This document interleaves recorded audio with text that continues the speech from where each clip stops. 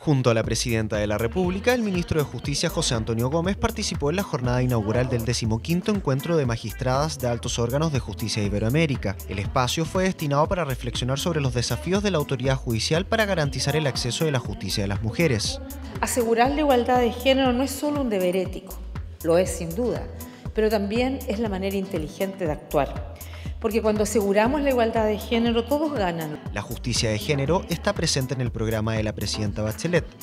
El Ministerio de Justicia ya trabaja para incorporar de manera transversal el enfoque de género en sus servicios dependientes y relacionados.